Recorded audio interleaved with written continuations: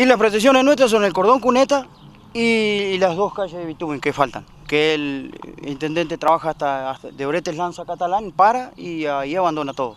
Y nosotros son dos cuadritas que tenemos todos los servicios, fibra óptica, antel, todo, eh, saneamiento, tenemos todo. Y, este, y la gente ya está cansada de todo esto.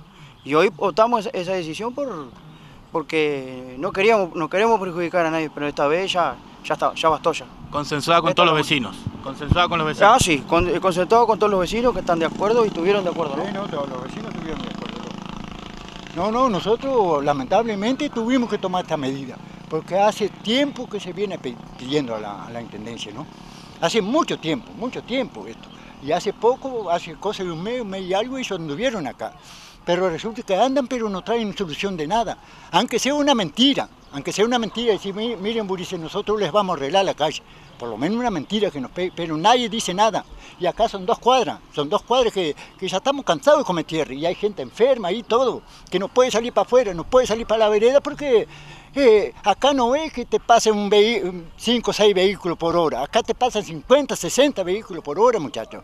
No se va a comparar una calle que te pasa 10 vehículos con una calle que te pasa de continua. Cuando, la, cuando se, quiere ir la tierra pasa otro, cuando se quiere ir la tierra pasa otro. Vecino, ¿esto significa también que en el mismo barrio la, Intendencia priorizó calles para pavimentar que no tenían sentido, teniendo esta con muchísima más circulación? yo creo que sí, porque esto acá hace mucho tiempo que se viene pidiendo la Intendencia. Hace mucho tiempo, años, años vamos a decir, y llegan hasta, llegan hasta allí Catalán. Arreglan calles que, que, una de ellas no hay tanta necesidad, porque no, no digo que no arreglen, porque no, no estoy contra de la gente que, que, de los barrios que arreglan, no estoy contra, pero acá estamos olvidados, acá nosotros estamos olvidados, porque ellos cuando tienen que pedir el voto, ellos se sientan a tomar mate con los vecinos.